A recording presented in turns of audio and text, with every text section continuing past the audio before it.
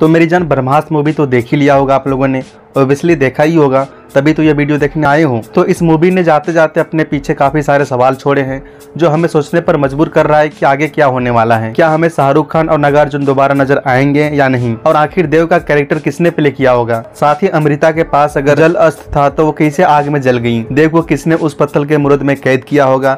ईसा का next part में क्या रोल हो सकता है? ऐसा और भी कई सारे सवाल है, जिसका हम जवाब ढूँढने की कोशिश करेंगे। सबसे पहले बात करते हैं शुरुआत से। तो मोहन भरगाव यानी शाहरुख खान और अनिश शेट्टी यानी नागार्जुन। ये दोनों का इम्पोर्टेंट रोल अभी भी है, क्योंकि इन्हीं दो लोगों के पास बरमास का एक एक हिस्सा था। सोचने वाली बात यह है कि आखिर इन दोनों के ही बरमास के दो हिस्से को रखने के लिए क्यों दिया गया?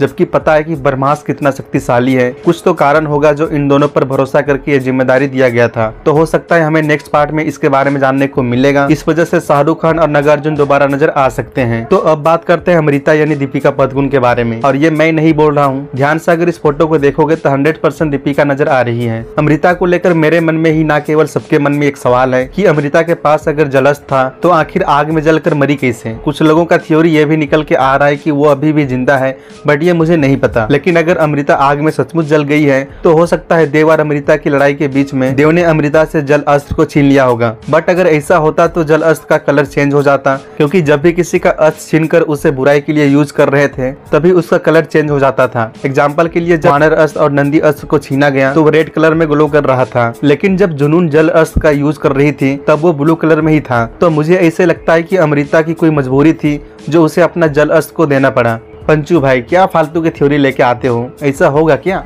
तो अब बात करते हैं उस कैरेक्टर के बारे में, जिसके पीछे बहुत सारे राज छुपा है। और सेकेंड पार्ट तो इसी के ऊपर ही बनने वाला है। तो मैं बात कर रहा हूँ ब्रह्मदेव के बारे में, जो कि शिवा का पिताजी है, जो एक नहीं, और भी कई सारे अस्त्रों को कंट्रोल कर सकता है, जिसमें से हमने अग्नि अस्त्र, जल अस्त्र और वस अस्त्र को देखा है। वस अस्त्र वही है जो एक लोकेट के मदद से किसी को भी अपने वश में कर सकते हैं। लेकिन सबसे बड़ी बात तो यह है की इतने सारे अस्त्र होने के बावजूद एक पत्थर की मूर्त में कैसे ट्रांसफॉर्म हो गया? मे भी, मुझे यहाँ पर लगता है, ब्रह्मास्त्र से छेड़छाड़ करने के चक्कर में भगवान का श्राप लगा होगा। या ऐसा भी हो सकता है कि अमृता देव की अर्धांगनी थी तो वो भी मल्टीपल अस्त्र कंट्रोल कर सकती थी। और ऐसे में अमृता के पास पाषाण अस्त्र भी था, जिससे देव को पाषाण अस्त्र की मदद से एक पाषाण यानी पत्थर के मूर्त में कैद कर लिया। ये बढ़िया था गुरु। आपको क्या लगता है कमेंट करके ज़रूर बताना। और हाँ देव के रोल के लिए एक र्यूमर ये भी है कि रणबीर सिंह देव का रोल प्ले करेंगे, पर अभी ये कंफर्म नहीं है।